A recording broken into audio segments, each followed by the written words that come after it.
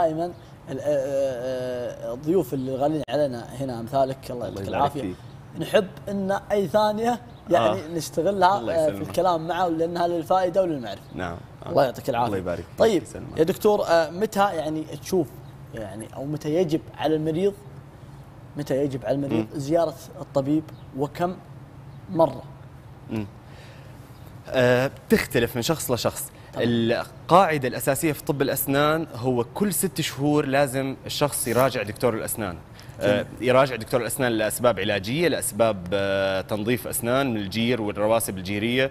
آه، لها عدة أسباب ولكن لازم تكون في مثل ما بقولوا بالتقويم تبع كل شخص كل ست شهور يراجع طبيب الأسنان.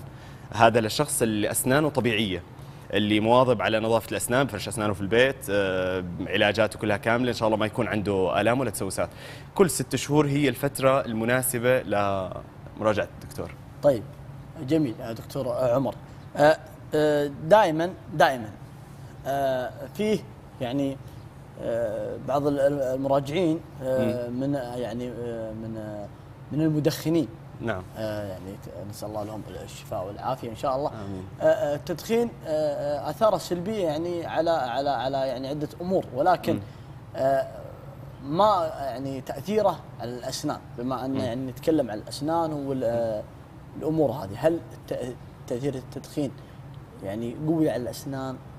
يعني آه، طبعا لا شك إنه التدخين مضر على الصحة بشكل عام. جميل. ولكن إذا بدي أحكي في علاقته في الأسنان آه، علاقته جمالية في المرتبة الأولى اللي هي التصبغات. بتعرفوا الناس اللي بتدخن دائما أسنانها في عليها تصبغات كثير. آه، بيعمل لنا مشاكل على اللثة تصبغات على اللثة آه، هي مشاكله الأساسية. مشاكله الثانوية على الأسنان ممكن إنه هو يسبب في تنشيف اللعاب. يعني بصير المدخن دائما بيكون آه، لعابه ناشف. وإحنا عندنا اللعاب هو الأساسي لمحاربة التسوس. يعني آه، وجود اللعاب بالفم هو بيخفف من حدوث التسوس. آه، بدون تفاصيل ولكن هو له تأثير طبعا على الأسنان من تصبغات من تسوسات من آثار على اللثة. آه، أكيد يعني آه،.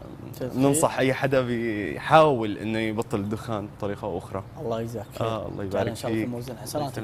طبعا كما ذكر الدكتور ال- التدخين ما هو بس أثره بس على الأسنان وشيء زي كذا. التدخين دائما له أثر على الإنسان بشكل آه، عام نعم. يعني طيب دكتور عمر اللي هل الدكتور عمر أبو ريشة يعني الدكتور عمر أبو ريشة يعني من الدكاترة يعني آه، اللي آه، مبدعين في هذا المجال ونسأل. الله لك التوفيق إن شاء الله الله. على الأشياء اللي أنت جالس تقوم فيها ويعني أصلا دائما رضاء الجمهور دائما آه، يعني آه، إذا الشخص صار جمهوره راضي عنه آه، أظن آه، إنه من إبداعه ومن آه، الشيء اللي جالس يقدمه فأخوي دكتور آه،. عمر أبو ريشة يحظى بالشيء هذا ونسأل الله له التوفيق. في الأشياء اللي هو جالس يقوم فيها في مجاله وفي العيادة